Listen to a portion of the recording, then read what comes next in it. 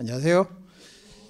예, 자 2019년 위생관계법규 조리직 대비하시는 분들 어, 기본 수업 어, 강의를 시작하도록 하겠습니다. 먼저 교재를 한번 보실까요? 교재를 한번 보시면은 교재가 이게 이제 아주 따끈따끈하게 이제 갓 나온 교재가 되는데 뭐 작년 교재 가 작년 교재를 이제 기본을 해가지고 이제 거기에서 뭐 사실 작년 교재도 우리가 시중에 나와 있는 위생관계법규 교재 중에서는 제일 뭐 이제 quality가 있는 교재라고 이제 정평했고 아마 조리직 준비하시는 분들이 대부분 그 교재를 보시는 걸로 제가 알고 있습니다. 물론 이제 부분적으로 많은 많지는 않지만 많지만 않지만 몇몇 교재들이 있긴 하지만 아마 그게 이제 주로 많이 보시는 걸로 알고 있는데 저도 이제 그 교재 가지고 작년에 공저자로 해가지고 그, 그 교재로 수업을 진행을 했었습니다. 근데 올해 올해 이제 그 교재를 토대로 해가지고 그거보다 약간 업그레이드 시킨 거죠. 뭐 약간 업그레이드 시킨 게 아니라 꽤 상당히 많이 업그레이드. 그러니까 분량은 줄이면서 내용을 아주 컴팩트하게 하고 그리고 그러면서 수험에 적합성이 있도록 그래서 제가 교재를 상당히 업그레이드 시킨 새 교재가 이제 등장을 했습니다. 물론 이제 내용 그러니까 어, 위생관계법규에 있는 내용 어, 식품위생법, 국민건강증진법 그리고 국민영양관리법, 학교급식법, 학교 어, 보건법 뭐 다섯 가지 컨텐츠는 다르진 않습니다만 이제 그걸 어떻게 하면 이제 수험에 맞게끔 포장을 하고 그리고 그걸 또 다시 좀 이렇게 정리를 하고 그렇게 해가지고 교재를 이제 수험에 좀 더 맞도록 맞도록 제가 이제 업그레이드 시킨 교재가 나왔거든요. 그래서 이제 수업을 들으시려면은 일단 뭐 교재를 뭐세분다 갖고 계시긴 하는데 뭐 수업 이제 들으시려면 제가 또 교재를 상당히 많이 활용을 하는 그런 강의이기 때문에 교재를 많이 활용하는 강의이기 때문에 여러분들 이제 수업을 들으시기 위해서는 이제 동영상 강의도 이제 우리가 또 어, 촬영이 되고 그래서 아마 들으실 분들은 기존에 있는 교재를 가지고 수업을 들으시기에는 솔직히 뭐 이렇게 첫 시간부터 이렇게 말씀을 드려서 좀 그렇긴 하지만 교재를 여러분들이 어, 같이 병행을 해서 들으시려면 아무래도 교재를 어, 구입을 하셔야 될 것 같은 생각이 들고요. 그래서 교재 이제 첫 시간에 이제 오리엔테이션 하면서 교재를 어떻게 활용할 것인가 이걸 여러분한테 제가 또 말씀을 드리면서 하는 거거든요. 그래서 물론 이게 교재 비용이 그렇게 어, 싼 편은 아닙니다만 또 열심히 교재를 여러분 다듬어 놓은 교재인데 뭐 새책 사가지고 준비한다는 게 좀 부담스러울 수도 있긴 하겠지만 이제 합격을 위해서 합격을 위해서 그리고 이제 수업을 좀 더 효과적으로 듣기 위해서는 효과적으로 듣기 위해서는 어, 교재 제가 한 교재를 가지고 수업을 듣는 게 어, 들으시는 게 효과가 있기 때문에 그 교재를 꼭 구입해서 보시도록 하고요. 오늘 아마 첫 시간에 오리엔테이션은 아마 그런 작업들을 할 겁니다. 교재를 제가 어떤 점 기존에 있는 교재들에다가 좀더 업그레이드 시킨 그래서 어떤 점을 업그레이드 시켰고 앞으로 수업은 어떻게 진행할 것이고 그리고 여러분들이 어떻게 이제 이 교재를 활용을 할 것인가 그걸 이제 오리엔테이션 겸 오리엔테이션 겸 여러분들한테 어, 수업을 진행하도록 첫 시간은 그렇게 하도록 할 겁니다. 그래서 그 점을 여러분들 감안해서 보시고요. 자, 그래서 앞에 이제 보시면은 교재 교재가 새로 나왔죠. 머릿말 한번 보실까요? 제일 처음에 보시면 머릿말이 나오는데 제일 처음에 머릿말이 나오는데 거기 보니까 이제 위생관계 법규죠. 대부분 이제 조리직 대비가 되겠습니다. 조리직 대비. 어, 요즘 이제 공무원들의 인기가 높다는 건 뭐 여러 가지 뭐 이유들 다 알고 계시죠? 신분 상당히 안정적이고 뭐 보수가 그렇게 썩 많다고 할 건 아니지만 겉에서 또 썩 거의 뭐 어, 약한 편도 아닙니다. 그래서 그래서 대신 신분이 끝까지 보장이 되고 그죠 그렇기 때문에 신분이 안정적이다. 그래서 조리직 시험 공무원 시험 치는 분들이 많아졌죠. 근데 아직까지는 대다수의 교육청, 시도 교육청 아마 조리직 시험으로 주관하는 것은 교육청인데 대다수의 교육청에서는 아직까지는 공식적으로 시험을 치지를 않습니다. 근데 몇몇 지자체에서 죠. 우리 경남 그리고 뭐 경북, 충북, 뭐 전남, 광주 요 일부 지자체에서만 현재 시험 시행 중인데 여기 이제 여러 가지 확 요즘 전체적인 분위기가 비정규직을 정규직화 시키고 뭐 이런 이야기들이 있기 때문에 다른 지자체에서도 다른 교육청에서 시도교육청에서도 이제 조리직 시험을 쳐야 된다라는 뭐 여론들이 일부 있는 걸로 알고 있습니다. 물론 아직 확정은 된 건 아니기 때문에 그것도 이제 공고가 구체적으로 나기 전까지는 잘 모르긴 하지만 어쨌든 우리가 특히 경남 같은 경우에는 3년 전부터 3, 올해 이제 4년째죠. 3년 전부터 계속 이렇게 조리직 시험을 이렇게 공식적으로 채용 시험으로 쳐가지고 공채 시험으로 쳐가지고 진행이 되고 있죠. 다만 이 조리직 시험은 문제가 공개가 되지 않습니다. 보통 이제 소수직렬이라고 하는 이유 때문에 문제가 공개가 되지 않기 때문에 이제 문제가 어떻게 출제가 되냐, 뭐 난이도가 어떻게 되느냐, 뭐 이런 부분에 대해서 상당히 이제 분석하기가 특히, 특히 이제 수험생들이 대비하기가 상당히 좀 힘들었거든요. 근데 요 위생관계법규 그래서 이제 이걸 위생관계법규를 근데 그렇다 하더라도 준비하시는 분들이 또 적지는 않단 말이죠. 그래서 이거 이제 어떻게 하면 이제 효과적으로 할 수 있을 것인가 이제 제가 이제 올해 이제 조리 어, 위생관계법규 강의를 이제 3년째 하고 있습니다. 물론 이제 그 전에는 제가 위생관계법규도 넓게 보면 행정 관련되는 법이기 때문에 제가 행정법을 강의한 지는 뭐 10년 이상이 됐습니다. 근데 이제 조리직 위생관계법규만 이제 전문적으로 강의를 하는 요걸 이제 별도로 강의를 한 지는 한 3년 정도가 됐는데 한 3년 정도 강의를 하다 보니까 대충 어떤 식으로 어 방향을 잡을 것인가 일단 수험이라는 본질은 다르지 않기 때문에 수험이라는 본질은 다르지 않기 때문에 어떤 식으로 할 것인가 이제 그런 고민들을 하고 고민들을 하고 그리고 실제 제일 좋은 방법은 뭘까 해가지고 출 문제가 우리가 공개가 안 되거든요. 문제가 공개가 되지 않기 때문에 공개되지 않는 문제를 가지고 뭐 그냥 막연하게 뜬구름 잡듯이 하는 것은 좀 안, 어, 이렇게 강사로서의 일단 이제 좀 수업하기에 상당히 좀 애로사항들이 있었다는 거죠. 그래서 제가 작년에 아마 또 인터넷이나 이런 걸 통해서 여러분들 이렇게 뭐 들으신 분들도 있겠지만 제가 직접 시험을 치러 갔습니다. 제가 조리직 시험 치기 위해서 뭐가 필요합니까? 조리사 자격증이 있어야 되죠. 근데 제가 조리사 자격증이 없음에도 불구하고 그죠. 그러니까 뭐한 겁니까?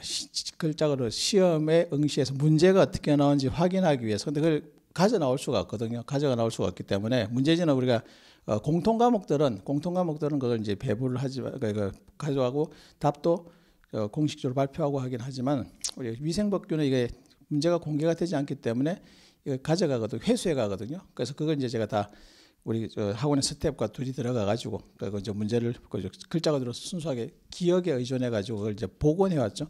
복원해 와 가지고 보니까 아 근데 마침 복원을 해서 문제를 강의 아마 그 해설 강의 익히 여러분들 들으신 분들이 많으실 거라고 했습니다. 근데 해 보니까 올해 문제가 작년 문제죠. 작년 문제가 상당히 좀 까다로웠다. 그럼 기존에 사실 첫 해, 두 번째 해 문제는 복원이 안 됐지만 대체적으로 합격생들 말들 보면 위생법규는 뭔가다. 아주 뭐 쉽게 그죠? 쉽게 고득점을 할 수 있었다. 뭐 그래서 뭐 이제 그, 그렇기 때문에 위생관계법규는 뭐 한 그죠? 한 한 달만 열심히 하면은 충분히 고득점을 할 수 있다. 뭐 이런 분위기가 팽배해 있다가 팽배해 있다가 마침 작년에 문제가 상당히 까다롭게 나왔죠. 그리고 이제 그게 실질적으로 당락을 좌우하는 과목이 되어 버렸기 때문에 그래서 이제 그런 부분을 제가 이제 캐치를 해가지고 야 그러면 기존에 있는 교재들과는 좀 다르게 특히 이제 수험에 맞춰가지고 대비를 할 필요가 있겠다. 그래서 교재를 이제 새롭게 만들었기 때문에 이제 제가 이제 수업 노하우가 아주 이제 집약되어 있는 책이거든요. 그래서 그런 점을 여러분들이 감안해서 보시면 될 것 같고요. 자, 그래서 교재 혹시 지금 교재를 안 가지고 작년 교재를 가지고 있는 분은 아마 첫 타임인데 이게 어쩌나 이거 교재를 가지고 계속 제가 수업을 할 예정이기 때문에 그래서 이건 뭐 아마 밑에 학원에 우리가 서점이 있으니까 서점이 있으니까 거기서 교재를 한 권. 제가 사실 책을 이렇게 함부로 이렇게 구입하라 이런 말을 잘 못하는데 잘 못하는데 연식 수험생들 부담도 있고 또 나름대로 자기 여러분들이 또 여러 가지 뭐 그러니까 사정들이 있기 때문에 그렇게 하지 않는데 올해는 제가 교재를 좀 꼭 사도록 이렇게 여러분들한테 안내를 그러니까 지도를 합니다. 행정 지도를 하게 되는 것인데 왜냐하면 이제 교재 안에 있는 노하우가 있고 제가 교재를 많이 활용하는 강의를 하죠. 그냥 단순히 책을 줄줄줄줄 읽고 넘어가는 게 아니라 교재를 많이 활용하는 강의를 하기 때문에 근데 그 교재를 어떻게 하면 효과적으로 활용할 것인가 그런 것들을 수업에서 이야기를 할 것이기 때문에 그래서 뭐 작년 교재에 열심히 했던 분들이나 어, 책을 많이 이렇게 이제 잘 다듬어 놓은 분들이 교재를 바꾸는 건 사실 좀 상당히 쉽지 않은 일이긴 하지만 쉽지 않은 일이긴 하지만 교재는 꼭 구입해서 보셔야 되겠다. 그럼 이제 어떤 부분을 했느냐. 그래서 이제 문제를 복원을 하고 그리고 아 또 그리고 우리가 어 문제 어 시험을 쳤을 때 시험을 쳤을 때 어 시험 이제 준비 기간되죠. 근데 아마 대부분 우리가 일반 행정직 우리 이제 여러분들 이제 젊은 친구들이죠. 대학생 또는 대학 학 졸업한 젊은 친구들이 수험 준비할 때는 워낙 요즘 경쟁률이 치열하기 때문에 경쟁률이 치열하기 때문에 어, 뭐 1년 안에 합격하면 상당히 요즘 성공한 케이스입니다. 2년까지도 하고 2, 3년은 보통 기본적으로 어, 준비를 하고 2년 안에라도 합격하면 요즘 요즘 경향으로 보면은 요즘 경향으로 보면 상당히 빨리 합격한 성공한 케이스로 우리가 보통 이제 평가가 되거든요.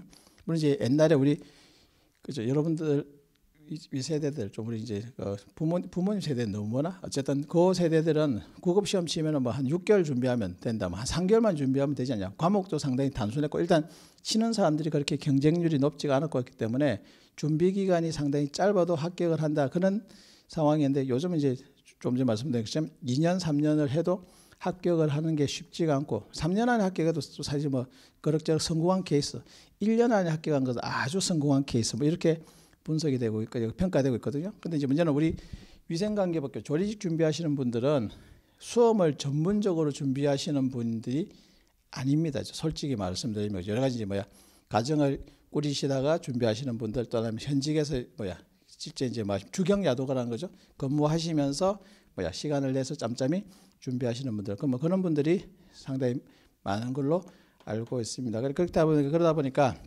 준비하는 기간이 사실 길지가 않는 게 현실이거든요.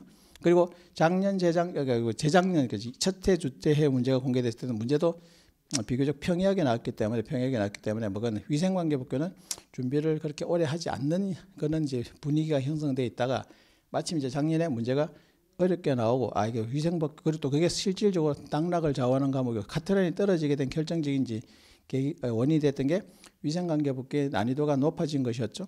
그렇기 때문에 여러분들이 준비하시는 시간을 조금 더 많이 이제 투자를 하셔야 됩니다. 물론 이제 올해 시험은 어떻게 또 나올지는 사실은 아무도 모릅니다. 이제 그래서 어렵게 나올 거라고 준비했는데 의외로 문제가 평이하게 나올 수도 있고 아니면 또 여전히 작년 문제 패턴대로 해가지고 난이도 있게 더, 더 어렵게 나올지 그건 사실 우리가 뭐 하기 전까지는 시험을 직접 쳐보기 전까지는 잘 알 수가 없거든요. 그렇지만 수험생들은 항상 어떤 준비? 조금은 비관적으로 비관적으로 준비한다는 것은 어렵게 나올 때를 대비해 가지고 준비를 하셔야 되는 부분들이기 때문에 그래서 사실 작년에도 이제 그런 여러 가지 어, 어 건의들 제안들을 많이 이제 complain이라고 할까요? 그래서 아마 지금 합격기에도 우리가 보면 쭉 학원 홈페이지에 보시면 우리 우리 제 수업도 없고 우리 학원에서 시켰던 아니면 동영상 강의 들어서 합격을 올려놓은 실제 이제 그거는 우리가 보통 다른 학원들이나 뭐 이런 다른 업체 꼭 비난하는 것 같아서 좀 그렇긴 하지만 다 뭐 자기 수업도 없고 뭐 적중률이 높고 또 뭐 합니까 합격생도 제일 많이 배출했다 뭐 이런 식으로 하는데 사실은 상당히 막연하고 추상적이죠.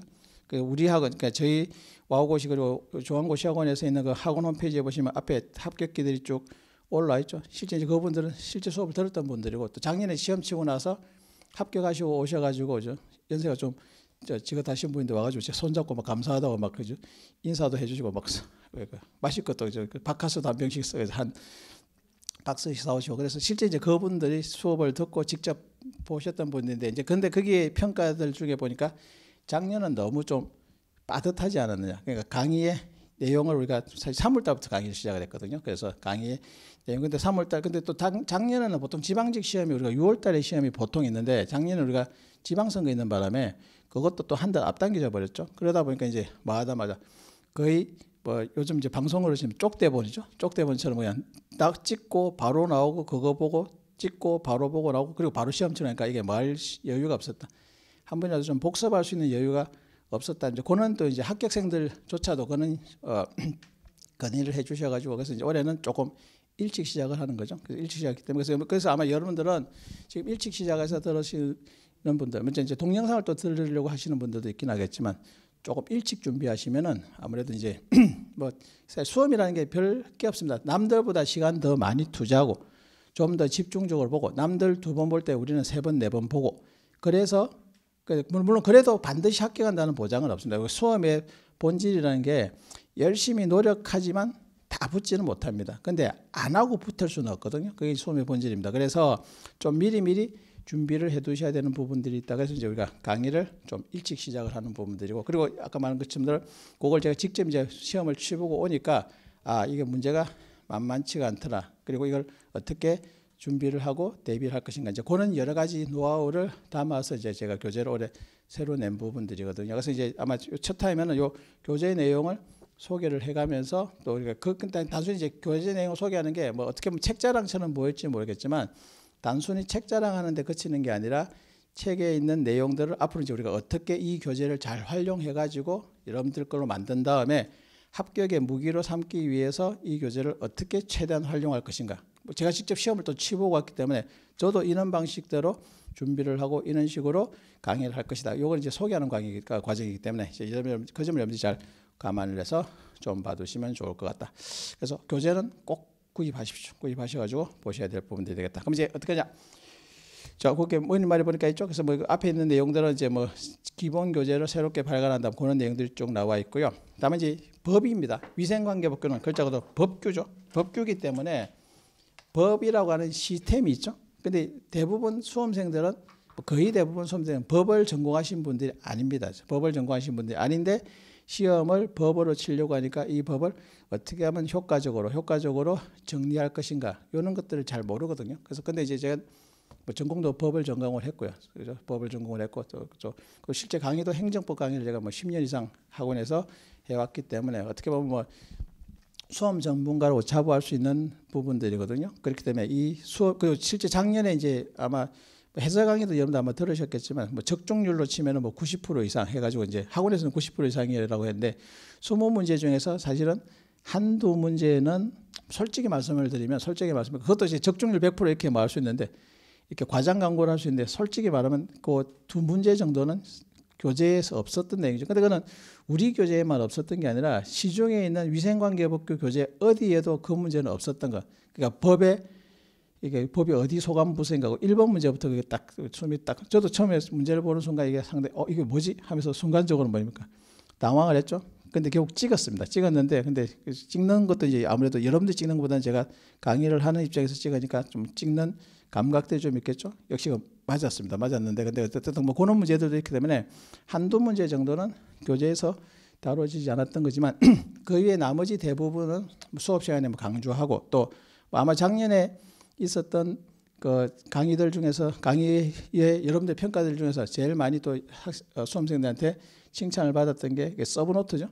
그 핵심 요약집이죠. 핵심 요약집. 그걸 제가 직접 또다 그, 뭐 그, 그 당시 표현대로 제가 쪽대 분석하면서 쪽대 분석하면서 하루하루 뭡니까 하루하루 일요일 날 수업에 있으면 제가 토요일 날 새벽에 3시 4시까지 이거 뭐야 그거 자료 준비하고 학원에 보내고 또 출력해가고 보내드리고 그렇게 했었던 거거든요. 그래서 그런 이제 여러 가지 이제 노력이 더해져 가지고 상당히 많은 평가들을 받았거든요. 평가를 받은데 근데 그걸 가 그, 그러니까 그런 걸 토대로 해가지고 교재를 제가 작성 요번에 이제 올해 새롭게 써야 되겠다. 그래서 양, 작년에 봤던 교재들은 페이지가 한 600페이지 조금 넘을 겁니다. 넘을 건데 근데 사실 작년에도 그런 말씀을 제가 드리긴 했지만은 사실 뒤에 있는 내용은 뭐, 뭐 위생 식품이 그저 그 기준 및 규격하는 기준 그게 뭐 나와 있는데 너무 전문적이기 때문에 이거는 작년에 제가 얘기했습니다. 이건 안 나온다. 보지 마세요. 하면서 그냥 물론 이제 출판사에서는 또 각 출판사마다 나름대로의 상업적인 이유가 있기 때문에 이제 양을 또 어느 정도 유지를 해야 수험생들이 또 선택을 하는 부분도 있거든요. 근데 제가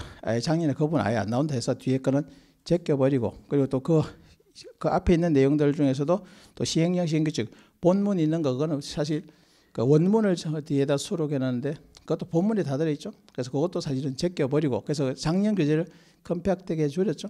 줄이고 서브노트를 만들어 가지고 여러분들 제공했던 건데 이제 그런 게 교재에 반영이 된 거거든요. 그래서 그런 점을 여러분들이 고려해서 보시면 되겠다. 자, 그래서 앞에 이제 됐고 그럼 이제 책의 특성이죠. 책의 특성을 이제 하나씩 하시겠죠. 제가 강의 아, 만든 교재의 특성을 이제 하나씩 언급을 하도록 하겠습니다. 그래서 일곱 가지의 특성이 있죠. 일곱 가지 특성인데 첫 번째 각 단원의 도입부의 개관이죠. 개관 및 tree note죠.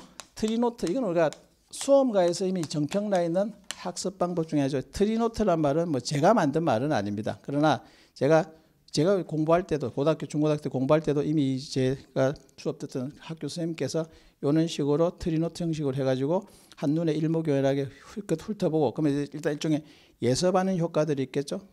그 어떤 내용을 공부하게 될 건가 그걸 한눈에 일목요연하게 쭉 볼 수 있도록 나무 가지처럼 쭉 이렇게 펼쳐놓은 것들이죠. 일종의 sub note이기도 하고 tree note 뭐 명칭은 뭐라고 해도 상관없습니다만 대부분 다 이건 뭐에 해당되는 것이다. 앞에 있는 예습하는 것이죠. 그래서 전체적인 개관 그리고 거기에 따르는 tree note를 각 책, 도, 그각 단원 도입부에다 제시를 한 것이겠죠. 그럼 이제 그걸 토대로 보시면 자 그래서 여기서 교재에 보시면은 2페이지, 3페이지 나오죠. 2페이지, 3페이지 보시면은 일단 식품위생법의 체계도가 나오죠. 체계도가 나오고 체계도 이것도 좀 이따 한번 다시 설명할 겁니다. 법률, 시행령, 시행규칙 이렇게 체계도가 있고요. 그리고 개관이 나오죠. 개관은 사실은 제목만 있기 때문에 내용이 뭐인지는 아직 한눈에는 안 들어오지만 거기에 보니까 쳐 있고 별 표시도 있죠. 그러니까 별 표시가 있다는 것은 하나, 둘, 셋인데 셋이 있다는 것은 뭡니까? 그만큼 출제 비중이 아주 높은 영역이라고 볼 수 있는 것이겠죠. 그리고 그, 그 중에서도 또 중요한 것은 제가 밑줄 볼, 이것도 뭐 특성에서 나오긴 하지만 밑줄 bold 치는 걸로 나왔기 때문에 그거를 쭉 한번 훑어보고, 지, 뭐 그러니까 지금 첫 타임에 하는 것은 내용을 여러분들 보시라는 게 아니라, 내용을 보시라는 게 아니라 요 책을 어떻게 활용할 것인가에 대해 일종 이제 교재 활용 팁이기 때문에 좀 편하게 들어주시면 됩니다. 뭐 적거나 그렇게 하지는 마시고 눈으로 확인만 하시면 되죠. 그리고 이제 그 다음 페이지 넘겨보시면 총칙. 우리가 식품위생법 총칙은 이제 총론이죠. 총론은 각 법마다 다 앞에 총론이 나오는데 가장 기본적인 기초적인 용어, 개념, 정의 그리고 등장 인물, 뭐 각종의 큰 마스터 플랜 이런 것들을 우리가 총칙에서 다루게 되는데 총칙에 있는 내용이 1조, 2조, 3조 세 조항이거든요. 세 조항인데 그 중에 핵심적인 사안을 뽑아서 tree note화 시켜놨죠. 그래서 보시면 종칙, 그러면 예를 들어서 목적, 위생상의 위해 방지. 물론 이건 다시 본문에서 중복해서 나옵니다만 계속 자연스럽게 반복 학습될 수 있도록 먼저 앞에 세우는 거죠. 그리고 정의, 정의는 각 개념의 정의죠. 각 개념의 정의에서 식품, 식품 첨가물. 근데 오른쪽에 여러분들 보시면 아시겠지만 실제 법조문은 상당히 좀 이렇게 군더더기들이 많아. 그 장황하게 이렇게 저렇게 막 길게 풀어놓은 것인데 근데 그중에서 사실 핵심적인 단어들은 몇 개 안 되거든요. 그래서 그걸 뽑아서 앞에 트리노트로 제시가 돼 있죠. 그럼 식품, 그럼 모든 음식물 뭐는 제해야 된다? 의약품은 제외된다라고 하는 것이겠죠. 의약 섭취하는 건 제외된다. 그렇게 딱 요약해놓은 거죠. 그럼 이게 자체가 서브노트이면서 예습을 하는 효과가 있죠. 그럼 그 밑에 뭐 식품 첨가물, 화학적 합성품, 기구 용기 포장, 위에 영업 이런 것이 쭉 나와 있습니다. 그죠? 그러면 그리고 그 밑에 식품 취급. 그럼 이제 아 눈으로 보시면 이 내용의 총칙에서는 이런 것들이 나오는구나라는 걸 우리가 먼저 확인하는 거죠. 그럼 이제 일종의 개관 및 tree note를 통해서 이건 일종 이제 예습을 하는 미리 보는 예습하는 효과들이 있는 것이겠죠. 그러니까 본문을 바로 들어가는 것보다는 미리 앞에 개관도로 있는 것 tree note를 통해서 확인해서 보시면 뭐 예습하는 효과도 있고 또 나중에 시험 치기 직전에 여러분들 시간이 없다. 마지막에 이제 우리가 어, 핵심 요약도 있긴 하지만 앞에 있는 트리노트를 통해서 자주 보면은 우리가 눈으로 자주 보면 이게 이제 그걸 하나하나 일일이 다 외우지 않더라도 외우지 않더라도 자주 보면 그 화면 자체가 머릿속에 자꾸 스캔되도록 하는 것이겠죠. 그러면 우리가 제가 뭐 이건 수업 시간에 이제 계속 이야기를 하는 거지만은 뭐가 필요야? 암기에 대해서 여러분들 상당히 많은 어, 이제 부담을 가지고 있거든요. 사실 아, 잘안 외워져. 잘 안 외워지죠. 20대에 있는 저 한참 팔팔한 친구들도 맨날 암기 문제 때문에 고민하시는데 우리 또 준비하시는 분은 조금 뭐 나쁘게 듣지는 마시고 좀, 좀 연배가 좀 있으신 분들이기 때문에 사실 이게 암기하는 데 대해서 상당히 좀 어, 부담스러워 하시는 부분들이 있거든요. 그렇지만 그렇지만 그래도 암기라고 하는 게 눈으로 암기라는 표현을 제가 씁니다. 그럼 눈으로 암기라는 건 뭐냐? 보기가 주어지죠. 그럼 우리가 뭐야? 직접 우리가 구술로 말로 설명을 하고 시험을 이제 구술 테스트 한다면 진짜 외워야 돼. 숫자 같은 거, 날짜 같은 거 정확하게 외워서 말로 표현을 하기 때문에 진짜 그건 암기가 필요합니다. 그러나 우리가 객관식이죠. 객관식은 사지선다란 말이에요. 나중에 뒤에서 또 이제 우리가 어, 수어막적으로 어떻게 접근할 건가 그걸 제가 여러분한테 말씀을 드릴 것인데 그런 객관식에서는 보기가 주어지기 때문에 보고 눈으로 확인한 다음에 이게 O인지 X인지 판독만 하면 되거든요. 그렇기 때문에 일단 너무 암기에 대해서 강박관념을 가지고 눈 감고 줄줄줄줄 다 외운다. 그걸 내가 설, 물론 설명할 수 있을 정도까지 완벽하게 외우면 그건 뭐 제일 뭐 더할 나위가 없지만 그러기에는 봐야 될 내용이 너무 많고 또 우리가 외우는 것보다 까먹는 게 더 속도가 빠르고 또 양 그러다 보니까 이제 수험생들이 그 암기에 대한 상당히 많은 부담을 가지는데 눈으로 암기를 하면 눈으로 보고 책 덮으면 또 몰라. 그러나 보기가 딱 주어졌을 때 이게 뭐다라고 말할 수 있으면 떠올릴 수 있고 체크만 하면 그러니까 그 OX 판독만 할 수 있으면 되거든요. 근데 그런 눈으로 암기할 때 가장 효과적인 방법은 이렇게 조문을 평면적으로 그 상당히 평면적으로 되어 있으면서도 상당히 조문들이 복잡하게 되어 있거나 또 좀 어떻게 보면 좀 난삽하게 되어 있거든요. 근데 전문가들이 볼 때는 그 조문에서 뭐가 핵심적인 걸 빨리 뭐야 캐치해내는데 여러분들은 수험생들은 그런 부분이 약하 더군다나 법학을 전공을 하지 않은 분들이기 때문에 그런 부분들이 좀 상당히 약하거든요. 그래서 그런 것들을 한눈에 일목요연해서 군더더기 다 떼버리고 가장 핵심적인 사안을 나무 가지처럼 tree note라고 보통 표현한 거죠. 그럼 그렇게 펼쳐놓고 그럼 자주 보고 책 덮으면 모르지만 또 한 번 더 눈으로 확인하고 그리고 근데 다만 이제 tree note의 장점은 한눈에 일목요연하게 확인할 수 있다는 장점은 있으나 단점은 너무 압축 요약되기 때문에 왜 그런지에 대한 정보가 좀 부족하죠. 그럼 이제 그거는 뭐야 뒤에 나오는 본문을 통해서 보시면서 아 그럼 요 내용 이렇게 좀 더 풀어져 있구나. 근데 결국 가서 본문에 가서 봐도 핵심적인 사안은 뭐 뿐이 그 핵심적인 키워드 그것만 딱 잡을 수 있기 때문에 그래서 예습을 하고 또 최종적으로 복습하실 때는 요 tree note를 통해서 쭉 보시면 그러면 여러분들이 말로 눈으로 그러니까 말로 줄줄줄줄 외지 않는다 하더라도 그걸 딱 떠올리면 머릿속에 뭔가 각인이 되는 것이겠죠. 연상이 된단 말이죠. 그래서 연상을 할 때 가장 효과적인 방법 그러니까 세 페이지, 네 페이지, 다섯 페이지 뭐 십여 페이지 있는 내용들을 어 뭐야 네 다섯 페이지로 한 페이지, 두세 페이지로 딱 요약된 tree note를 봄으로써 빨리 연상이 될 수 있는 것이죠. 우리가 기억이 그리고 그게 이제 우리가 눈으로 암기라고 하는 제가 평소 때 강조하는 특히 객관식 시험이기 때문에 논술식 같으면 진짜 외워야 돼. 왜냐하면 우리가 식품이 뭐냐 하면 그걸 정확하게 거기에 있는 법조문의 내용을 들고 외웠어야 되기 때문에 오히려 암기가 필요한 건 논술식이요. 그러니까 주관식이라고 이야기하는 써는 거죠. 그때는 오히려 암기가 필요한 부분이지만 우리가 객관식에서 암기는 보기가 주어지기 때문에 그 보기를 눈으로 통해서 확인하면 되겠죠. 그러면 이거는 이제 그런 식으로 앞에 도입부에 대입되죠. 그러면 이거는 4페이지뿐만 아니라 그 각 큰 목차 우리가 보통 장이라고 표현하는데 장별로 제일 앞에다가 고른 tree note 개관도하고 tree note를 제시를 했죠. 그럼 여기서 12페이지. 그럼 12페이지 가서 보시면 식품과 식품 첨가물이죠. 이것도 역시 tree note. 그래서 각 장발 어, 장이죠. chapter죠. 각 장별로 항상 도입부에는 이런 tree note를 제시를 한 것이겠죠. 그럼 그걸 통해서 여러분들이 뭐야? 미리 한번 눈으로 쭉 훑어보는 거죠. 그리고 외울 때 처음부터 너무 무조건 강박관념을 갖고 외우려고 하지는 마시고요. 일단 처음에는 자주 보시는 게 좋습니다. 눈으로 확인을 하고 눈으로 익히는 거죠. 그리고 나중에 이제 그 외운 것을 확인하는 방법은 또 중간에 이제 아마 요 다음 타임 또 이야기를 하긴 한데 우리가 공부를 하는 위생법규를 공부하는 하나 이제 이것도 작년에 수업에 하긴 했지만 또 교재에서 아마 제가 그걸 적어놨거든요. 그거 객관식 시험의 기본 요령이라고 한 아홉 가지 정도 제가 했는데 그것도 아마 여러분들 설명을 될 겁니다. 그래서 아마 오늘 첫 시간이고 오리엔테이션 겸 하기 때문에 뭐 진도는 그렇게 본문 내용의 진도는 많이 나가지는 않겠지만 그러나 책 전체를 쭉 한번 훑어보면서 우리가 앞으로 아 공부를 어떻게 했으면 좋겠다. 일종의 수업 노하우죠.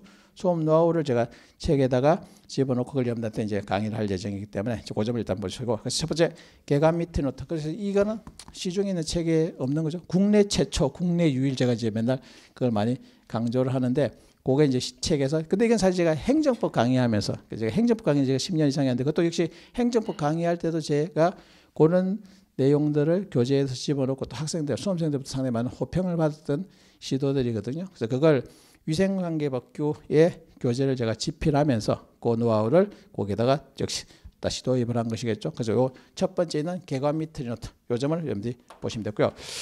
두 번째 관련 있는 법조문은 법률, 시행령, 시행규칙 순으로 연계했다. 그러니까 이제 위생관계 법규죠.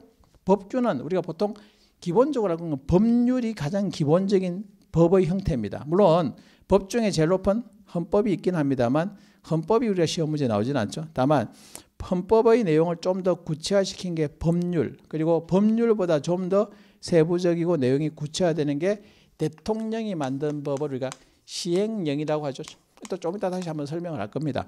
시행령 그리고 각 부장관들이 자기의 소관 업무에 관해서 좀더 세부적이거나 아니면 좀 더 기술적인 거, 뭐 서식을 어떻게 작성할 것이고 신청서는 신청을 어떻게 할 것인가 이런 것들은 법률에서 작성하기에는 좀 더 전문적이거나 조금 더 세부적이거나 기술적인 것이겠죠. 그건 이제 각 부장관이 제정하는 시행 규칙 이렇게 법에 계급이 있거든요. 법도 계급이 있단 말이죠. 그래서 이건 행정부가 만든 법 중에서 대통령이 만든 거라서 우리가 대통령령이라고 하고 시행 규칙은 각 부장관들이 하지만 식품위생법은 각 부 소관 업무가 어, 식품의약품안전처장이거든요. 근데 식약처장이라고 보통 이제 일상에서 줄여서 얘기하는데 식약처장은 총리 직 속 기관입니다. 그래서 식약처장은 자기가 스스로 독자적으로 어, 시행규칙을 제정할 권한은 없고요. 총리의 이름으로 하는 것이죠. 뭐 사실 그것까지는 모르셔도 상관없는데 어쨌든 그래서 시행규칙 그러면 이제 식품위생법 시행규칙은 식품의약품안전처장이 주무를 주관을 하긴 하지만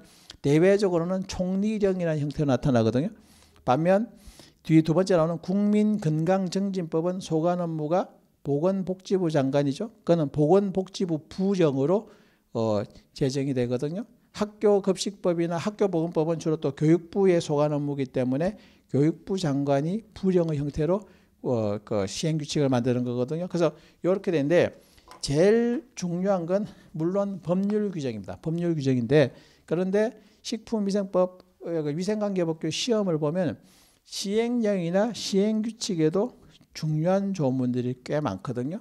근데 그러한 법률 시행령 시행규칙 조문이 중요한 부분이 많은데 또 많은 책들이 보면은 자만 책들 보면 법률 규정은 따로 사실은 뭐 편집이라고 할 것, 그러니까 교재라고 할 것이 없이 그냥 법 조문을 그냥 그대로 모여가지고 control C 해서 법률 딱 해놓고 또 control C 해고 시행령 해두고 시행규칙 해놓고 그래서 따로따로 이렇게 배치를 하게 될 경우에 서로 법 조문이 이 법의 토대로 요게 나오고 그걸 토대로 다시 세부적인 내용이 나오는데 이걸 따로 떼어 놓으면은 이게 효율성이 떨어지는 것이겠죠. 그래서 법률 시행 이거는 작년에 제가 강의했던 교재도 그 포맷으로 되어 있습니다. 그건 상당히 좋은 시도들이라 생각하거든요. 또 그런 식으로 되어 있는 책이 시중에 있는 책들 중에서는 잘 없어.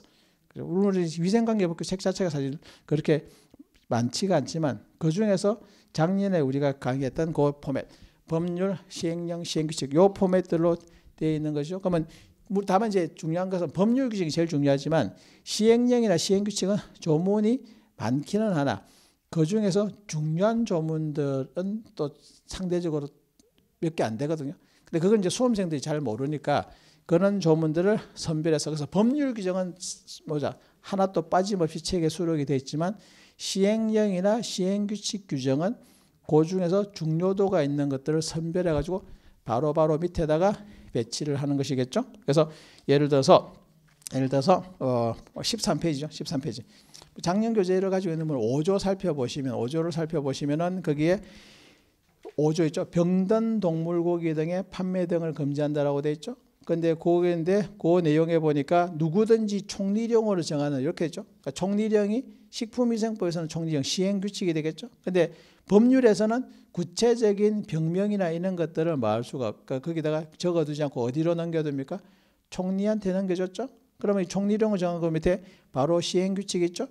회색 바탕으로 되어 있습니다. 시행 규칙 제 4조에 보니까 판매 등이 금지되는 동물고기. 그래서 그건 1번, 2번 있죠. 그요 내용들을 바로바로 바로 배치하는 거죠. 근데 이게 뭐 규정과 법률 규정과 시행령 시행 규칙이 따로따로 뭐 있으면 따로따로 되어 있으면은 그 내용들을 우리가 서로 연계성을 잃게 되고 그러면 볼 내용도 많아지고 결정적으로 보고 나서 까먹기 마련이죠. 근데 그걸 바로바로 바로 조문 밑에다가 배치를 해두면 배치해주면 훨씬 더 연계해서 볼 수 있는 부분들이겠죠. 그래서 아마 우리 책에서 보시면은 올해 교재를 기준했을 때 나왔던 기준을 봤을 때 그 시행 규칙 규정은 회색 바탕으로 했습니다. 그러니까 시행령 시행 규칙 규정은 회색 바탕으로 해뒀죠. 그리고 그냥 박스에 있는데 그 회색 바탕이 아닌 건 법률 규정에서 그저 어, 나와 있는 조문을 제가 이제 좀 구분해 가지고 구분해 가지고 그렇게 표시를 해뒀거든요. 여기 이제 회색 바탕에 있는 내용들은 뭐냐? 회색 바탕에 있는 내용들은 어, 시행령이나 시행규칙인 거죠. 좀 더 세부적인 것이겠죠. 근데 그 중에서도 중요한 조문이 있고요. 그렇지 않은 조문들이 있는데 그거는 이제 수업을 들으면서 요게 제가 넣어두 구색을 갖추기 위해서 넣어두기는 넣어뒀지만 넣어두긴 넣어뒀지만 세부적인 사안들을 좀 더 강약을 조절해서 여러분한테 말씀드리고 또 어떤 건 시행령 시행규칙이 더 또 중요하게 다뤄지고 출제가 자주 되는 부분이죠. 근데 여러분들은 그걸 잘 모르시기 때문에 수험생은 잘 모르기 때문에 그 이제 강의하는 입장에서 그런 것들에 대한 강약을 조절해서 여러분들한테 제가 전해드릴 것이다. 그건 아마 작년 교재도 그런 포맷으로 되어 있긴 하지만 올해 교재도 올해 교재도 제가 역시 여전히 그런 포맷을 좀 더 강화시킨 것이겠죠. 강화시켜서 한 부분이라는 점을 고려해서 보시고 그래서 두 번째 그게 되겠습니다. 자, 다음에 세 번째 세 번째는 법 저, 이 규정 이 책에 있는 거죠. 근데 우리가 법 조문을 여러분들이 뭐 그런 또 상당히 많은 어, 질문을 받습니다. 조문 그게 다 어떤 게 중요한지 좀 설명을 좀 해주시면 안 됩니까? 물론 제가 중요한 조문을 뽑아서 제가 서브노트를 한 것인데 여러분들이 또 어쨌든 공부는 여러분들이 직접 하시고 최소한 뭐야 기본적으로 법 조문을 직접 한번 읽어 보셔야 되지 않습니까? 근데 법 조문을 직접 읽어 봐야 되는데 문제는 법 조문을 읽어 보면 이게 사실 말도 어렵고 그리고 앞뒤에 막 군더더기도 많고 하는데 어떤 단어가 어떤 그저 뭐 그저 조문이 핵심적인 사안인지를 잘 모르겠더란 말이에요. 그래서 그걸 제가 감안해서 그래서 그래서 이건 작년 교재에서는 볼드체로 일부 있긴 했지만 밑줄로 돼 있거나 키워드로 돼 있는 게 상대적으로 좀 약했단 말이죠. 그래서 그걸 제가 뭐야. 그래서 작년에 아마 수업을 들으셨던 분들은 아시겠지만 여기 하면서 살짝 밑줄, 진하게 밑줄, 뭐 빨간 동그라미 뭐 이렇게 밑줄을 치는 작업들을 수업을 하면서 같이 해왔었거든요. 그걸 바로 책에다가 집어넣은 거죠. 그래서 키워드죠. 키워드. 그 핵심적인 키워드가 있습니다. 키워드죠. 키워드 및 밑줄 처리한 거죠. 밑줄을 처리했다. 키워드 및 밑줄을 처리해 가지고 여러분들이 뭐 할 수 있는 거야. 그리고 중요한 것은 bold 처리라는 거죠. bold 처리. 그럼 bold 처리를 하면 키워드 및 밑줄 처리하고 그것 또 그중에서 또 핵심 키워드라고 생각한 것은 뭐랬습니까? 이렇게 볼더체로 처리를 한 거죠. 볼더 처리를 한다. 그럼 여러분들이 볼 때 조문을 볼 때 그 내용을 다 안 읽어도 돼. 물론 이제 궁극적으로는 조문을 하나하나 다 보는 걸 목표로 합니다. 궁극적으로 조문 하나하나 다 보는 걸 목표로 하지만 그러나 시간이 없을 때 아니면 나중에 뭐야 시간이 없거나 막판에 시간이 쫓긴다. 그러면 뭐야? 밑줄 친 것만 보거나 또 밑줄 친 것만 봤는데도 시간이 없다. 그러면 좀 더 볼드 채는 거죠. 그는 것만 눈으로 빨리빨리 읽게 되면 훨씬 더 시간을 줄여서 보시는 거죠. 특히 이거 작업을 우리가 저 뒤에 보면 뭐야? 영업의 허가의 기준이라든지 뭐 시설 기준 이런 것들은 꽤 많죠? 꽤 많은데 예를 들어 그 뒤에 보시면 67페이지. 영업의 종류죠? 영업의 종류 그리고 영업 업종별 시설 기준 요게 나와 있단 말이죠. 67페이지, 68페이지는 일단 회색 바탕이니까 시행령, 시행규칙이라는 것이겠죠. 근데 그 조문을 여러분들이 그냥 쭉 보려면 68페이지, 69페이지 보시면 상당히 많은 내용을 담고 있는데 그걸 우리가 다 봐야 되냐.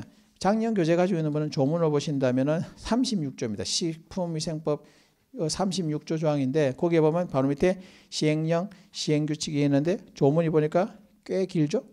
그걸 다 볼 수가 없단 말이야. 물론 뭐 궁극적으로 여러분들이 어쨌든 한 번은 본다는 마음으로 읽어봐야 되긴 하지만 읽다 보면 그 중에서 어떤 게 핵심 키워드인지가 눈에 잘 안 들어온단 말이죠. 그래서 그런 부분을 제가 감안해 가지고 그럼 여기서 68페이지도 있지만 거기 보니까 가에 보니까 뭐 있습니까? 식품에 나쁜 영향을 주지 않는 거리라고 한 거죠. 그 말만 보면 그 중에서 제일 핵심 키워드가 그거죠.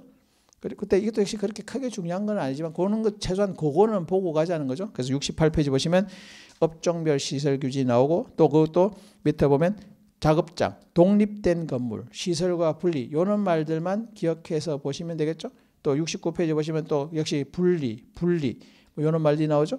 그리고 뭐 급수 시설 나에 보니까 수돗물, 지하수 이런 것들 가지고 오염될 우려가 있는 장소로부터 영향을 받지 않는 것. 요거죠. 이게 제가 작년에 수업하면서 같이 우리가 작업하면서 밑줄 치는 작업을 했었습니다. 그래서 그걸 충실하게 잘 다른 학생 수험생들이 많긴 했었는데 그걸 아예 책에다가 반영을 한 것이겠죠. 그럼 여러분들은 궁극적으로는 나머지까지도 다 본다는 걸 마음을 먹기는 하지만 어느 정도 익숙해지면 그 밑줄. 그리고 그것도 진짜 시간 없다. 그러면 그 중에서 또 중요하다고 언급이 되는 것은 또 조금 더 굵게 볼드체로 처리가 되어 있거든요. 예를 들어서 74페이지에 보시면 74페이지에 보시면은 집단급식소의 식품 판매업이죠.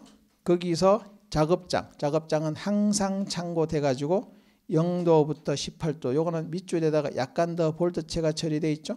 아, 그럼 요거는 특히 중요한 것이구나라고 하는 것을 확인해 볼 수 있도록 하는 것이겠죠. 뭐 그런 식으로 이제 책에서 내용을 정리한 거죠. 78페이지 가서 보시면 교재 78페이지 가서 보시면 거기에 업종별 시설 기준이라고 해가지고 휴게 음식점, 일반 음식점, 제과점 영업이죠. 여기는 볼드체가 좀 더 많죠. 많죠. 그럼 이거는 이제 볼드체는 여기는 좀 더 중요한 부분이다. 그러면 보니까 객실에 잠금 장치를 설치할 수 없다. 그렇게 된 것이겠죠. 그리고 유형주점 역시 객실의 잠금 성직 이거는 시험 문제 곧잘 등장을 하는 것이기 때문에 그렇게 제가 좀 더 밑줄을 치고 볼더 치는 거죠. 교재 78페이지, 79페이지가 되겠습니다. 그죠? 그래서 그렇게 키워드 중심으로 해두고. 그럼 이거는 뭐 이제 앞부분만 보지만 마지막까지가 다 요런 포맷으로 되어 있거든요. 그럼 이제 여러분들이 평소 때는 본문에 있는 내용을 다 찬찬히 꼼꼼히 본다는 걸 목표를 해. 당위론적으로는 그렇긴 하지만 그렇지만 그게 다 중요한 조문은 아니거든요. 근데 수험생 입장에서 이게 중요한 조문인지 아닌지를 잘 모르기 때문에 사실은 그걸 다 보려고 하다 보니까 그러니까 그 그러다 보니까 진도도 안 나가고 중간쯤 보다가 지쳐가지고 포기하고 그럼 다음에 볼 때 또 처음부터 보거든. 그럼 처음에는 잘해. 그래서 처음에는 잘하는데 또 중반 이어가다 보면 또 뭡니까? 진도가 안 나가지고 또 계획대로 안 되죠. 계획대로 공부가 되는 경우는 없습니다. 아무리 합격생들도 물어보면 자기 계획대로 다 했냐 물어보면 항상 계획보다 뭐야 좀 부족하게 못 미치고 그렇지만 어쨌든 끝까지 포기하지 않고 진행을 했다. 이게 그, 그, 그렇게 여러분 계획대로 안 된단 말이에요. 그러면 결국 하다 보면은 자꾸 중도에 포기하게 되거나 아니면 뭐야 어, 아니면 그냥 아예 넘어가거나 그런 상황이 되죠. 아니면 운에 맡긴다. 나중에 되면 중간쯤 되면 자포자기하는 심정이 어떻게 됩니까? 에이 뭐 나오면 안 나오 그러니까 나오기를 바랄 뿐. 그 나오기를 바랄 안나 어, 안 배웠 어, 모르는 것에서 나오면 그냥 찍어야지. 뭐 이런 마음까지 생기게 되는데 그렇게 하지 말자는 거죠. 그래서 그래서 제가 키워드 밑줄 처리고 이렇게 볼드 처리를 한 것이겠죠. 그럼 여러분들 훨씬 더 많은 내용 그러니까 내용을 제가 컴팩트하게 줄였지만 줄인 내용에서도 또 핵심적인 말들을 밑줄을 침으로써 여러분들 부담을 또 줄이는 거죠. 항상 수험이란 것은 부담 강의도 그렇고 강사도 그렇고 교재도 그렇지만 수험생들의 부담을 가중시키면 안 됩니다. 그리고 교재에 있는 내용들 그냥 평면적으로 쭉 읽고 야 수업 다 했다. 보는 건 니네들이 알아서 해라.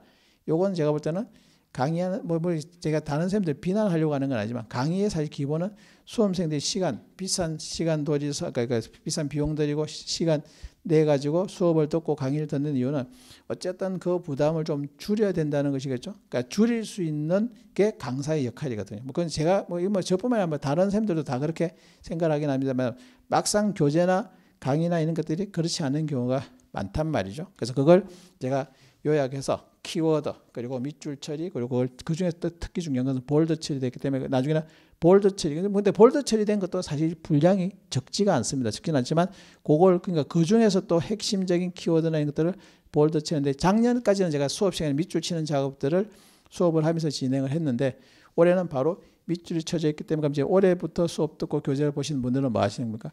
그걸 보고 바로 집중해서 밑줄 치고 동그라미 치는 집중할 수 있는 시간에 바로 보면서 여러분들 머릿속에 넣는 작업들을 하는 것이겠죠. 그러니까 여러분들의 부담을 덜어드리기 위해서 제가 이런 작업을 했다. 이게 이제 세 번째 상황들이 되겠고요.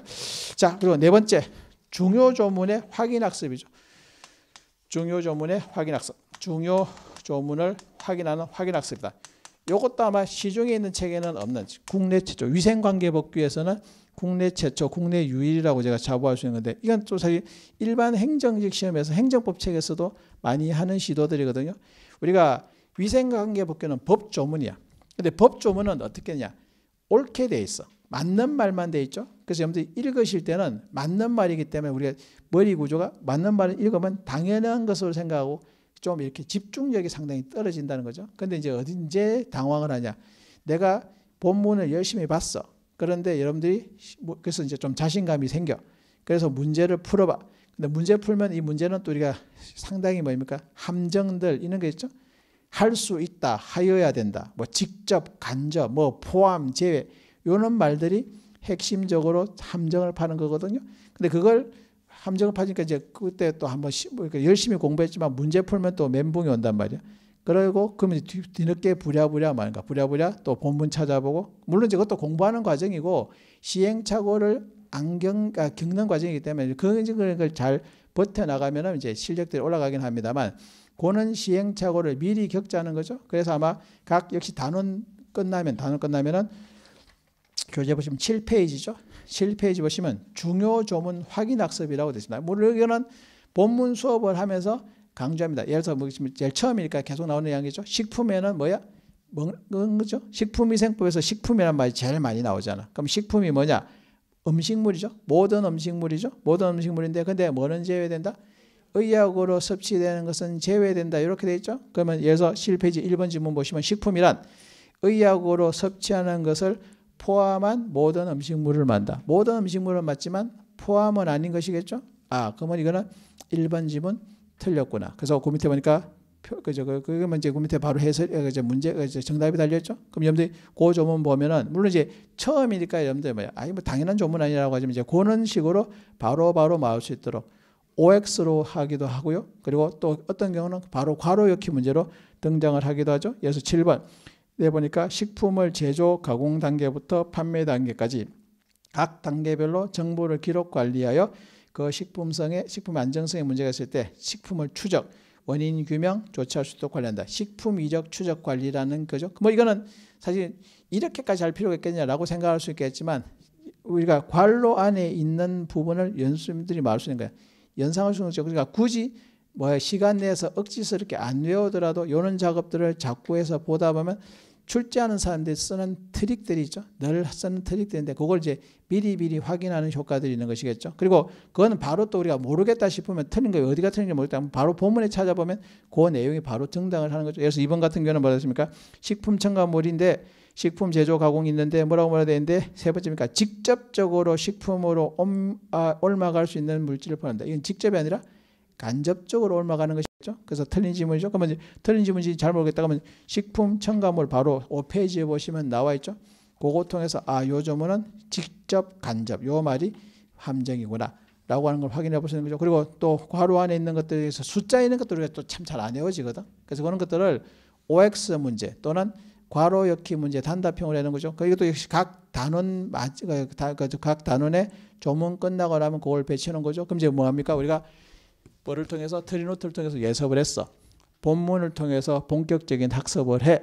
그런데 그걸 내가 제대로 받는지 안 받는지를 중간에 확인하는 것이겠죠. 근데 확인하는데 사실 이 작업은 상당히 수험생들에게는 부담스러운 작업이야. 왜냐하면 지문 하나하나를 놓고 우리가 사지선다기 때문에 사지선다는 솔직히 한두 지문 몰라도 한 나머지 조문을 통해서 우리가 찍어낼 수 있는 것이죠. 근데 이 지문은 그, 그, 그렇기 때문에 우리가 몰라도 사실 정답을 찾아 정, 어, 어, 득점을 할 수는 있는 상황이지만 그건 운이잖아. 그러니까 우리가 조문 하나 하나를 우리가 정확하게 이해하고 어떤 부분이 함정인지를 확인할 수 있는 방법도 있기 때문에 그래서 이게 또 아마 행정직 일반 행정직 시험을 칠 때 상당히 많은 학습 효과를 높일 수 있는 방법이거든요. 그걸 얘가 또 역시 마찬가지로 위생관계법규 수업에다 이걸 제가 도입을 한 거죠. 그 도입해서 한 것이기 때문에 주요 중요 이 또 이 점은 다 제가 직접 만든 겁니다. 제가 직접 만들고 또 손 을 보고 내가 출제자라면 어떻게 함정을 팔 것인가. 출제자의 마음이 된 거죠. 어떻게 함정을 파면 학생들이 괴로워하더라. 괴로워하는 게 또 저한테는 상당히 쾌감이 오는 작업이거든요. 강의하는 입장에서는 문제를 어렵게 꼬아내는데 학생들이 그 감정에 딱 빠져주면 이게 말할 수 없는 묘한 쾌감이 있단 말이에요. 그런 것들을 하면서 제가 작업을 일일이 다 수작업을 하고 이렇게 한번 다듬어 보고 저렇게 한번 다듬어 보고 어떤 것들이 또 함정이 많이 있다. 질문을 어떻게 많이 하더라. 이런 것들을 이제 감안을 해가지고 그걸 이렇게 OX 문제, 중요 확인, 중요 점 확인 학습을 OX 문제 또는 단답형이죠. 단답형 형식으로 구성을 한 것이기 때문에 그럼 이건 이제 여러분들이 확인 학습 차원 글자가 확인 학습이죠. 그래서 확인 학습을 함으로써 많은 것이야. 확인 학습을 안에 있는 내용, 아, 우리가 본문에 봤던 내용, 요 내용을 얼마나 우리가 잘 봤느냐, 이것들을 바로바로 확인할 수 있는 것이겠죠. 그렇게 됩니다. 그게 이제 네 번째 중요 조문의 확인 학습. 이것도 역시 마찬가지로 시중에는 없는 새로운 시도들이 되겠죠. 그렇게 됩니다. 그 특히 이제 위생관계법께서 새롭게 시도한 것이겠죠. 그렇게 보시고, 그다음에 이제 다섯 번째는 기출 및 예상 문제죠. 기출 및 예상 문제. 이 이제 본격적으로 우리가 기출 및 예상 문제죠. 우리가 아는 것하고 문제를 잘 푸는 거하고는 또 다릅니다.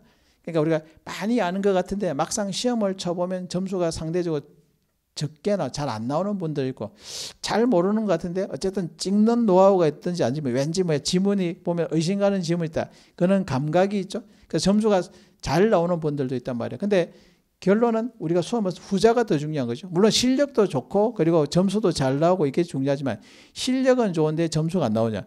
실력이 뭐 실력이 안 좋고 말이 좀 어폐가 있긴 하지만 실력은 안 되는데 문제를 잘 푸는 사람들이 있거든요. 근데 수험에서는 후자가 더 중요한 것이겠죠. 그래서 기출 및 예상 문제. 다만 이제 우리가 기출 문제는 어, 아까 모두에서 말씀드린 것지만 문제가 공개가 안 되고요. 물론 이제 우리가 유사한 뭐 조리사라든지 아니면 여러 여러 시험에서 일부 있게 문제 근데 거기 나오는 문제 수들은 상당히 좀 이렇게 아주 그 낮다고 해야 됩니까? 상당히 좀 이렇게 단편적인 문제들을 중심으로 그리고 뭐야 최고 득점을 하기 위한 게 아니라 커트라인만 넘어야 되기 때문에 평균 사, 그러니까 커트라인 그러니까 과락 40점 없이 평균 60점만 넘어야 되기 때문에 문제의 quality가 좀 떨어지는 거죠. 근데 이제 우리가 경쟁이 치열해질수록 출제하는 사람들은 어떤 생각을 하냐. 이건 이제 변별력을 기록해서 문제의 quality를 좀 높이려고 하는 그런 경향들이 있단 말이죠.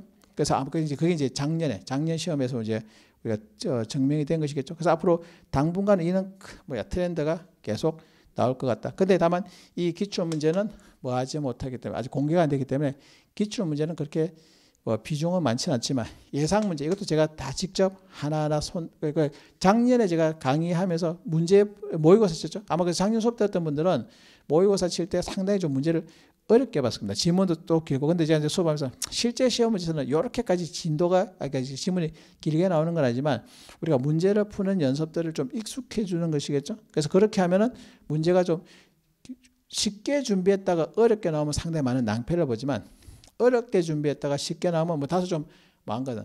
아깝기는 하지만 그래도 그래도 대비할 수 있는 것이겠죠. 근데 작년처럼 어렵게 준비했는데 문제가 어렵게 나면 이제 그럴 때 진가를 발휘하는 것이겠죠. 그래서 그래서 작년에 위생법규 뭐 85점, 90점, 95점 이렇게 받은 분들은 대부분 다 합격권에 들어가고 합격하셨죠. 합격해 보시면 아마 요밑 쭉 나와 있을 겁니다. 그런 거죠. 그래서 그는 문제를 푸는 연습들을 하는 건데 다만 이제 문제집을 별도로 해서 푸는 작업들도 있긴 합니다.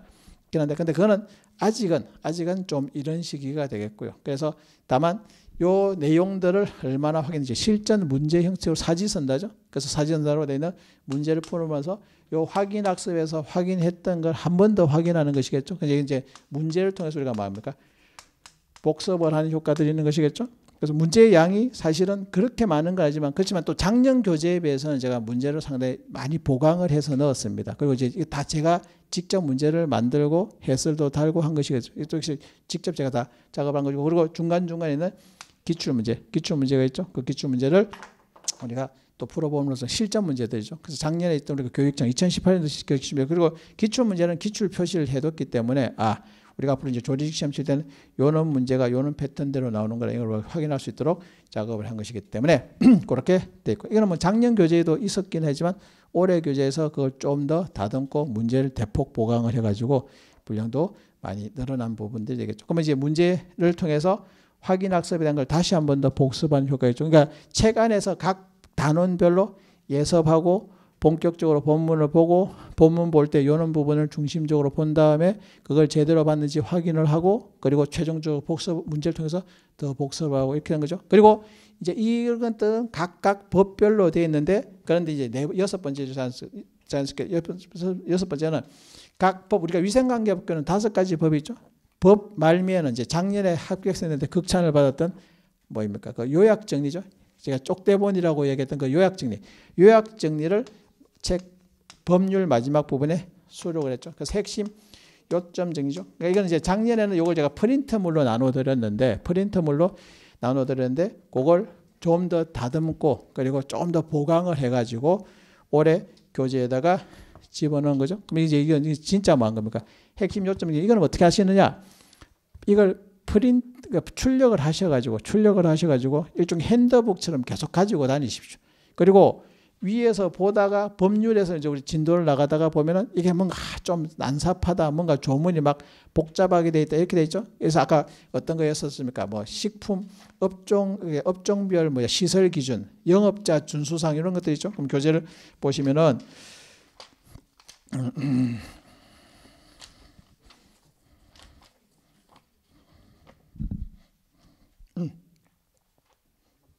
교재 보시면 90 88페이지죠.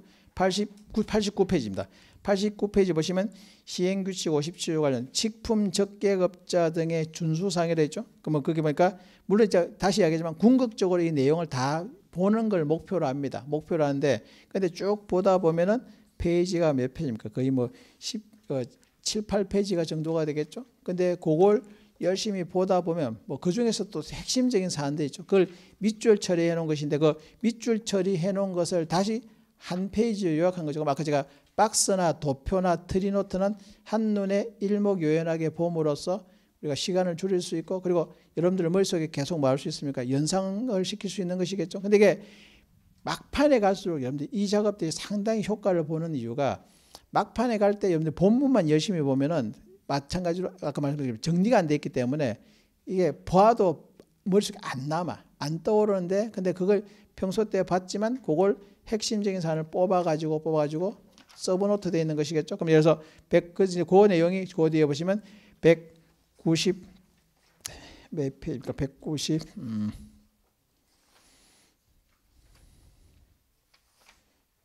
100, 어, 뒤에 203페이지죠. 203페이지, 204페이지, 205페이지. 그러면 그 세 페이지죠. 그러니까 우리가 좀 전에 봤던 8페이지, 9페이지 내용에 있는 것 중에서 이것저것 군더더기 다 떼버리고 그거 중에서 핵심적인 사안을 그렇게 핵심 요점 정리라고 돼 있죠. 그럼 이거는 뭐 복습의 용도일 수도 있지만 최종 마무리할 때 여러분들이 요걸 이제 평소 때 잘 다듬어 두는 거죠. 근데 그냥 막판에 요것만 보면 이게 또 우리가 평소 때 잘 안 다듬고 막판에 보면 역시 생뚱맞다는 거죠. 근데 이거는 핸드북처럼 출력을 해서 핸드북처럼 가지고 다니시면서 요거 볼 때 항상 옆에다 두고 뭐를 통해서 요걸 통해서 눈을 익히시면 아 이 중에서 가장 핵심적인 내용은 요렇게 돼 있구나. 그러면 막판에 마무리하는 것이겠죠. 그래서 최종 마무리. 그래서 최종 마무리하는 용도로 핵심 요점 정리죠. 그럼 이거는 사실 책 뒤에 있기 때문에 찢지는 마시고 찢으면 또 책이 이렇게 다섯 군데 있기 때문에 책이 또 이렇게 좀 너저분해질 가능성이 많습니다. 그래서 이거는 제가 복사를 하시는 게 좋지 않겠냐라고 했는데 학원에서 이제 우리 스태프분이 이거 복사하면 또 이거 복사하는데 모양이 좀 어색 어그러진다. 그래서 뭐 어떻게 하면 좋겠냐 했더니 파일 있죠. 이거 제가 파일 형태로 연는데 직접 그 이제 다운 받으실 수 있으니까 수업 이제 들으시는 분들 이제 수강 그 동영상을 듣든 아니면 실강을 하시는 분들은 아마 이제 그거를 학원 홈페이지나 우리 동영상 사이트가 있죠. 거기다가 이제 회원 가입을 하시면은 제가 그게 첨부 파일 형태로 올려놓도록 하겠습니다. 이 핵심 그 작년에 제가 이거 직접 다 수업에서 하면서 바로바로 바로 쪽대본처럼 나눠드리고 이제 그건 이제 어, 수험생들 여러분들이 그걸 뭐 해가지고 그 이제 어, 취합을 해가지고 스스로 이제 그 핸드북처럼 가지고 다니셨는데 근데 근데 그때 부분적으로 계속 나왔기 때문에 수업 시간에 그 어, 나눠서 나갔기 때문에 이게 조금 그러니까 한꺼번에 일목요연하게 정리하는 게 좀 힘들었거든요. 근데 그리고 그건 또 제가 작년에 했기 때문에 제가 예, 컴퓨터 워드, 워드 프로세스 이 자격증이 없기 때문에 이게 좀 상당히 좀 조악했습니다. 그러니까 이게 뭐 박스도 제대로 좀 못 만들고 그렇게 이건 이제 우리 전문 편집팀한테 보내가지고 상당히 세련된 형태로 박스도 좀 다듬고 활자체도 좀 더 뭐입니까 시가 시야에 잘 들어오도록 그렇게 된 것이겠죠. 그래서 그렇게 이제 편집된 분이기 때문에 이거 제가 파일을 올려놓도록 하겠습니다. 그럼 첨부 파일을 올려놓으면은 여러분들이 수업 들으시면서 그걸 출력. 근데 또 양이 적지 않은 양입니다. 근데 적지 않은 양이지만 또 전체 양에 비해서는 그걸 또 반으로 반으로 더 줄여놓은 것이기 때문에 이거는 뭐처럼 최종 마무리인데 최종 마무리를 마지막에 한다고 하지 마시고 뭐 하시면서 요거 평소 때 보시면서 요 내용들을 마무리할 때 한번 그러니까 평소 때 잘 다듬어 두시고 거기도 아마 요 핵심 노점 정리도 작년에 비해서 더 많이 강조된 게 요 내용들이 또 그대로 돼 있어. 그러니까 그 중에서도 또 핵심적인 사안은 뭐야? 밑줄 그리고 핵심 키워드는 볼드 처리 그리고 중요한 것은 비교 형태로 박스로 정리하는 거죠. 그래서 이 최종 마무리 용도로 활용할 수 있도록 핵심 요점 정리를 둔 것이니까 그 점 기억해서 보시면 되겠다. 됐고요. 자, 그리고 이제 마지막이죠. 마지막은 이제 부록이죠. 별책 부록이 또 있죠. 별책 부록이 있는 것이겠죠. 그래서 이건 또 중요 사항들, 중요 사항들에 대한 암기죠. 중요 암기 사항들이겠죠. 그 중요 암기 사항들, 암기 사항들이죠. 중요 암기 사항들은 이것은 또 정리를 해둔 것이겠죠. 그래서 우리가 수험에서 뭐 사실 작년에는 우리가 작년 시험에서는 숫자가 상대적으로 조금 덜 나오기는 했습니다. 근데 그렇다고 해서 시험에서 객관식 시험을 특히 법령 시험에서 가장 핵심 어, 가장 출제하는 사람들이 일단 한눈에 딱 들어오면 학생들을 괴롭혀 주는 게 뭘까 했더니 숫자들이죠. 각종 숫자들이 곳곳에서 막 등장한단 말이죠. 그래서 작년에도 최종 마무리 강의하면서 뭡니까? 마무리하면서 중요 사항들 한번 쭉 확인해 보자 해서 쭉 그걸 취합해가지고 만들어 놓은 건데 그걸 뒤에다가 적어 놓은 거죠. 그래서 중요상 암기적 이것도 역시 마찬가지로 이제 부록 형태로 됐죠. 마지막에 이제 그책 맨 마지막에 부록 형태로 됐죠. 그러면 교재를 가서 보시면 교재로 가서 보시면 맨 마, 학교 급식법 뒤에 보시면 학교 급식법 뒤에 가서 보시면은 핵심 어, 마지막 뒤에 부록이죠. 중요사항 암기 정리죠. 중요사항 암기 정리. 그러면 이제 위생 관계 복귀한 중요 숫자. 그래서 제일 처음에 나오는 숫자 중에 뭐가 있습니까? 집단 급식소 아시죠? 집단 급식소는 몇 명? 1에 50명 이상 식사를 제공하는 것이겠죠. 뭐 50명, 50이라는 숫자를 해두은 것이죠. 그리고 계획, 각종 계획은 어떻게 한다고 했습니까? 큰 계획은 몇 년마다? 기본 계획, 관리, 핵심 계획은 5년마다, 세부적인 계획은 보통 매년, 해마다 뭐 이렇게 되는 것이겠죠. 그런 숫자도 있죠. 그래서 어, 관리 기본 계획 5년, 그리고 시행 계획 매년, 세부 계획은 보통 매년, 그리고 큰 계획은 보통 5년 단위로 하는 것이겠죠. 또 우리가 어, 기준 및 규격에 대한 재평가 주기는 몇 년? 그죠? 그러니까 알 듯한데 또 헷갈리죠. 그래서 재평가 주기는 법률 규정이었고 또 시행령 별표 규정이 있거든요. 시행규칙 별표인데 그것도 재평가 주기는 5년입니다. 5년이죠. 그래서 그는 숫자, 그러니까 숫자들은 순간순간 헷갈릴 수 있는 부분들인데 그걸 또 이것도 역시 마찬가지로 핸드북처럼 요거 요거가 마찬가지죠. 같은 묶음을 같이 출력하셔 가지고 이것도 역시 가지고 다니시면서 헷갈릴 때마다 바로바로 바로 확인하는 거죠. 그리고 이게 이런 것들을 여러분들이 핸드북처 이게 이제 핵심 요약 정리집인데 평소 때 다듬어 둬야 돼. 막판에 정리한다고 해 가지고 보면은 아무래도 또 망할 수 있어. 본문에서 열심히 맞추면 또, 또 다른 자료가 되는 것이기 때문에 막판에 볼 때 이게 또 생소할 수가 있거든요. 그래서 그럼 조금 전에 말했지만 숫자가 늘 나온단 말이야. 근데 여러분들 공부할 때 항상 또 뭐 느끼는 거지만 헷갈리는 거는 좋은 현상이야. 헷갈리는 건 왜 좋은 현상이냐? 모르면 헷갈리지도 않아. 그러니까 머릿속에 아무것도 안 들어있으면 이게 헷갈리질 않죠. 헷갈린다는 것은 어쨌든 뭔가 머릿속에 들어가 있다는 거죠. 다만 이제 문제는 들어가 있지만 그게 정리가 안 되거나 헷갈리는 사항들이죠. 그런데 그럴 때는 고를 때 딱 한번 눈으로 확인하시고 머릿속에 한번 정리를 해둬야 돼. 물론 또 까먹을 겁니다. 또 까먹긴 하겠지만 그렇지만 정리를 한번 해두고 까먹는 거하고 헷갈린데 에이 나중에 어떻게 되겠지 하고 그때 안 찾아보고 방치해 버리면 어떤 문제가 생기냐. 다음에 볼 때 처음 보는 거 똑같은 효과가 또 처음 보는 거 마찬가지이기 때문에 그래서 그렇게 헷갈 때마다 바로바로 바로 찾아야 되는데 문제는 바로바로 바로 찾아야 되는데 어디 있는지 우리가 잘 못 찾다 보면 또 찾다가 뭐 하게 됩니까? 찾다가 지쳐가지고 포기하는 경우가 숱하게 있었거든요. 저도 수험생활 했기 때문에 뭔가 그런 노하우들이 저도 시행착오 많이 겪었던 거죠.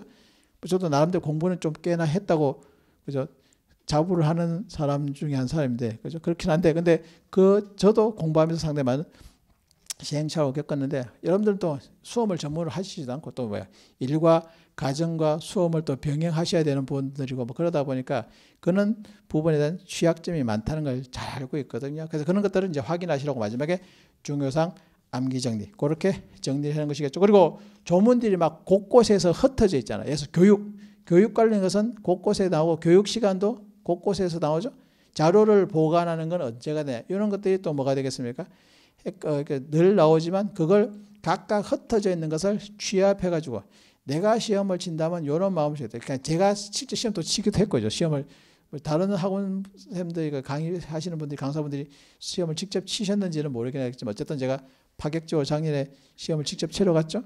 직접 치러 가서 해보니까 내가 정리를 하면 이렇게 하겠다라는 마음으로 그러니까 제가 시험 친다, 제가 친다, 아니면 제 가족이 시험을 친다 그런 마음으로 교재를 제가 공을 들여서 자료를 만든 것이겠죠. 그럼 이것도 역시 마찬가지로 뭐처럼 요 핵심 요청 지처럼 핵심 요점 정리처럼 부록 형태로 되어 있는 것이니까 이것도 늘 가지고 다니면서 늘 나오는 숫자 또 뭡니까 각종의 뒤에 보시면은 숫자가 제일 기본이고요. 뭐그 각종 기관들이 등장을 하잖아. 각종 기관들인데 중요위원회 그리고 각종 누구의 권한자인가 이런 것들도 있죠. 그래서 그거는 나중에 부록에 보시면 442페이지에 보시면 그것도 쭉 나와 있죠.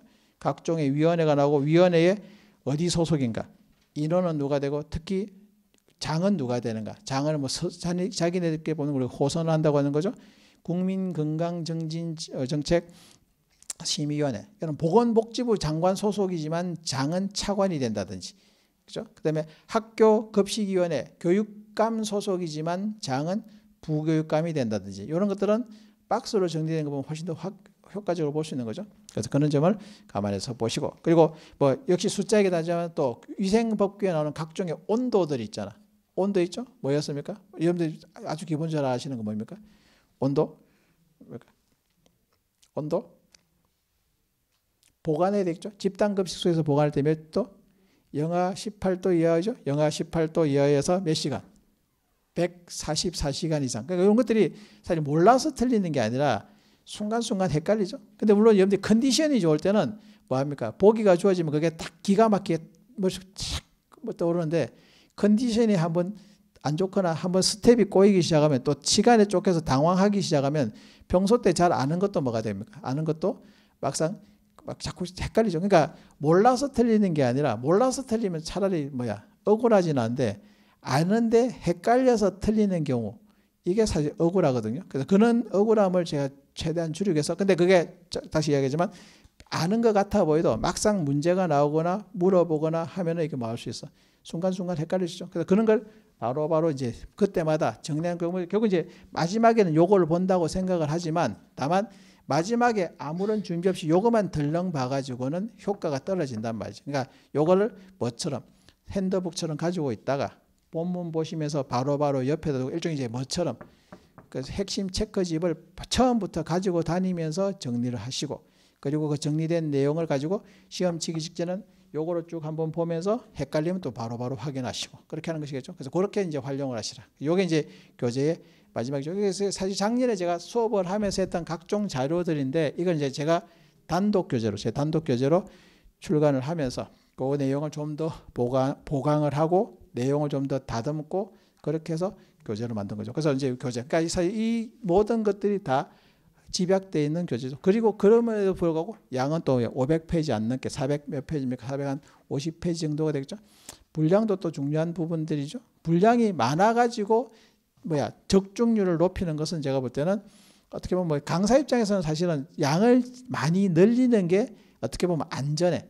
여기다가 또 혹시 뭐가 모르니까 뒤에다가 뭐그 별책 부록처럼 또 뒤에다 뭐 시행령 시행규칙을 직접 집어넣는다든지 식품의 기준 및 규정하는 기준들 그 식품 고시 이런 것들을 집어넣으면 책은 두툼하고 뭔가 좀 막기는 해.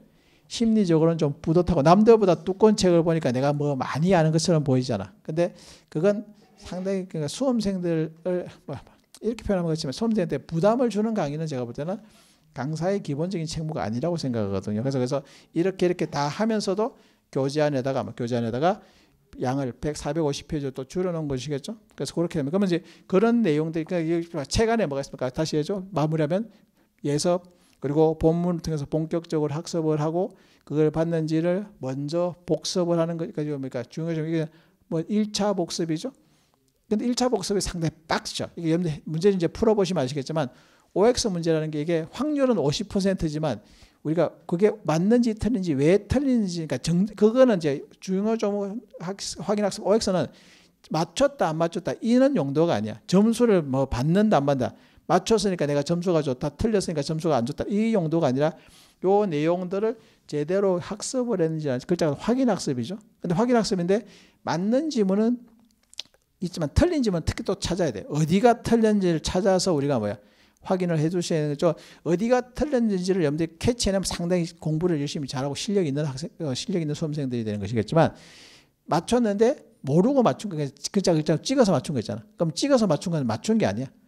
근데 내가 정확하게 알고 맞춘 것, 정확하게 알고 그러니까 틀렸는데 어디가 확실하게 틀린지를 확인하는 학습도죠.